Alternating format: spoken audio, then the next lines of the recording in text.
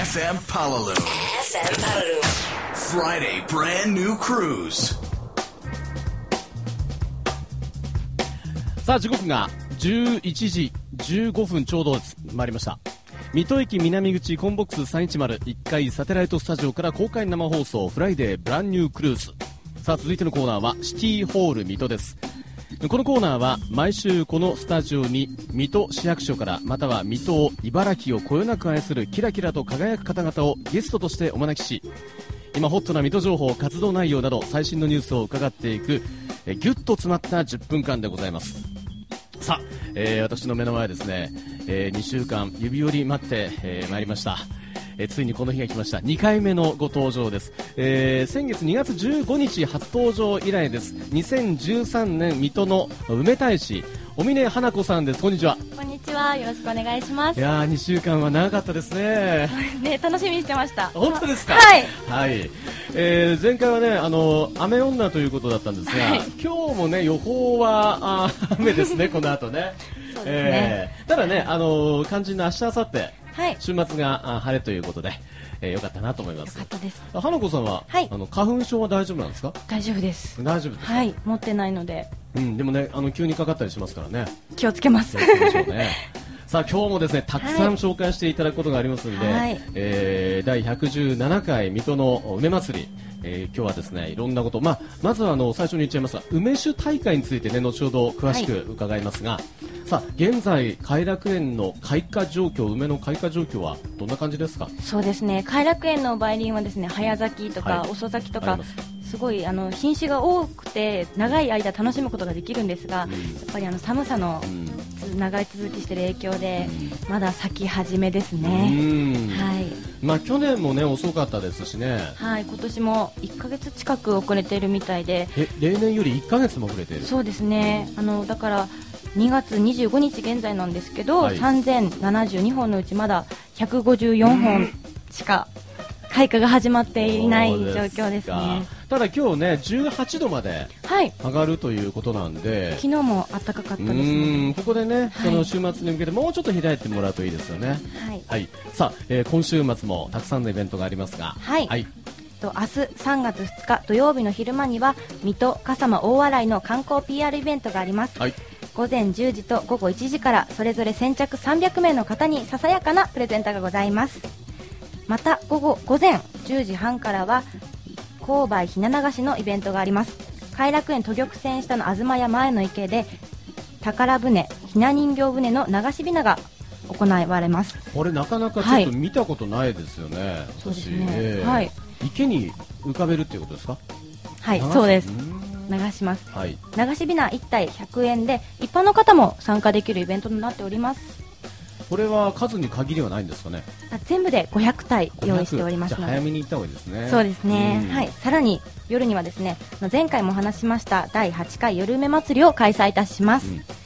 と当日は偕楽園を夜間開放いたしまして1万個のキャンドルディスプレイのほかあの梅梅林や竹林のライトアップそしてお茶会や表門から出発するナイトウォークが行われます、うん。常盤神社能楽殿でのステージイベントには茨城大使の磯山さやかさんや水戸ご当地アイドルかっこ仮の皆さんも参加いたしあます。ーそうなんですね。賑やかだ。すはい。ごくね、賑やかなイベントとなっております、梅とか竹林のライトアップなんて本当に考えただけで幻想的ですよね。はい。はい。そしてあの前回もお話ししたんですがフィナーレには日本一の花火師野村洋一さんによる花火の打ち上げもありますのでぜひご参加ください。いやーこれはもう本当にね、うん他の予定が入ってもこっちにしたいぐらいですね。はい。さあそして、はいえー、あさってもですね、はいありますねいろいろはい。3月3日日曜日には第66回水戸の梅祭り大撮影会を行いますえっとまだ梅は咲き始めですが、うん少しずつ日増しに春の訪れが感じられるようになってきていますのでぜひ水戸の偕楽園でモデルと水戸の梅大使を囲んでの楽しい撮影会に参加していただきたいと思いますはい。さあそしていよいよですね、えーはい今日ご紹介していただくメインイベントですね。はいはい。来週の3月の8日から10日までの3日間、えっと、常盤神社という偕楽園に隣接する常盤神社の境内にて東日本初となる梅酒の全国大会水戸の梅祭り梅酒大会2013を開催いたします。はい、これは、はい。もうすすごい銘柄の数ですよね。そうなんです。全国の90社以上の酒蔵さんから150銘柄以上の梅酒が水戸に集結いたします、うん。はい、北は北海道から南は沖縄までですねあのよくね僕も梅酒が好きでね、はい家で飲むんですよ。で、あれね、あの原原酒っていうか、その割らないでロックで飲むと、はいちゃんと酔えるし、あのロックで飲む、ねね。あ 花子さんも好きですか？はいロックで飲むのが一番好きです、ねえ、あのなんかねビールとか飲んじゃうとね水水分取りすぎちゃうんで、はい梅酒なんかだといいですよね。次の日もむくまなくてね。えこれはどういう大会方法ですか？はい、えっと、参加者の方にそれぞれの梅酒を飲み比べていただいて、3銘柄に投票してもらう一次審査というのがまずありましおてー。その後にソムリエや利き酒師などの指定審査員による二次審査うん。というのによって黄門賞となる第1位の梅酒を決定いたします。第1回ですからね。はい。全国の梅酒を試飲できる大イベントですので。これね、はい。であのじゃあいくらぐらいするのかなと思うと安いんですよね。そうなんです。ええ。っとですね。え前売りと当日と違うんですけど、はい。はい、前売り券が500円で当日券が600円になりますね。安すぎないですかこれ、ね。いや普通にあのねワイン工場行ったはい。って1000円ぐらい取られますからね。そうなんですよ。500円で前これどこで買ったらいいですか？現在水戸駅の観光案内所や東京都内の飲食店などで前売り券を発売中です、うん。えっと、その他メールまたはファックスによる購入もできますので、うんうん。詳細はホームページをご覧ください。うんうちのねさっきまで午前中のディレクターもねどこで買ったらいいんだろうってあたふたしてましたからね。ええ。今偕楽園の方でもか購入できます。そうなんですね。はい。これ梅酒をねこういろんな種類があると思うんですがなんかポイントはありますか、楽しみ方の。そうですね、ん。もう150種類以上ありますので、うんね。まず自分の気になる個性のある梅酒というのを見つけていただきたいと思います。色ですとか、うん。とろっとしているとか濁っているとか、うんうん。梅酒ならではの特徴を探していただいて、はい。気になった梅酒を見つけてもらったらその香りもうんうん。まず楽しんでいただいて、うん。なんか本当に沖縄ですとシークワーサーだったり、あーああの飲んだことあります？はい。シークワーサー梅酒だったりなんか私が見たのだとトマト梅酒とかもあったので、うんあの 黒糖梅酒っていうのもありますよね。はい、ありますね。うん。なので、それを楽しんでいただいて、うん。口に今度は含んでいただいて、はい。口当たり、あとそれから梅の甘みや果実の味など、うん糖度やアルコールの強さを感じてみてください。あ。最後にですね、あとは後口に残った余韻っていうのを、うん口の中の香りや喉に感じる糖度、さっぱり感などを堪能していただきたいと思います。うん。はい。これはですねまあ梅酒好きにはたまらないですが梅酒あんまり飲まないんだよなっていう方もきっとファンになっちゃいますよね、はい、気軽に参加できるイベントとなっておりますので、うん。ぜひ参加してもらいたいです。全国90社以上からえー150銘柄を1回に味わい、まあ、150種類 なかなか難しいですけどね。そうですね、少しずつたくさん飲んでいただいて、はい。はい。さあそして、えー会場アクセスについてですね。これあの、まあ、あの全国に流れてますんであのロンドンで聞いてる人もねさっきいましたんで どうやって行きましょうか？はい。ロンドンですか？そしたら日本の茨城、水戸で。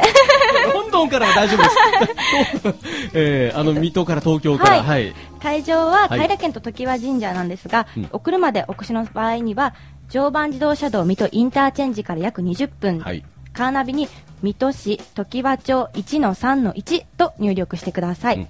駐車場は近くの有料駐車場がありまして普通車ですと1日1回500円という駐車場がありますのでそちらをご利用ください。はい。はい、電車やバスでお越しの場合には JR 水戸駅北口からですとバスターミナル4番または6番でバスに乗って約15分。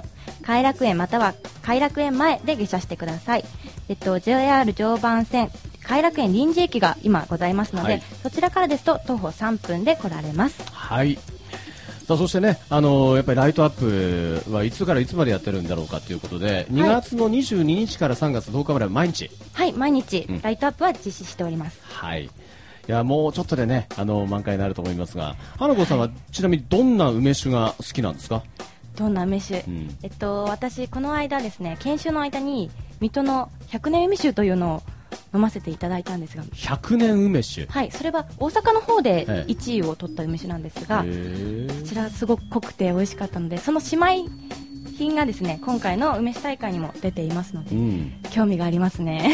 そうですね、はい、えーぜひ梅酒う大会は3日間です。はい、3日間です、3月の8日からのお3日間、8、9、10と、はい。えー偕楽園隣接する常盤神社境内で行われます。はい。ここにはあの花子さんはなんいつ来るんですか？あ私は金曜日。金曜日に？はい。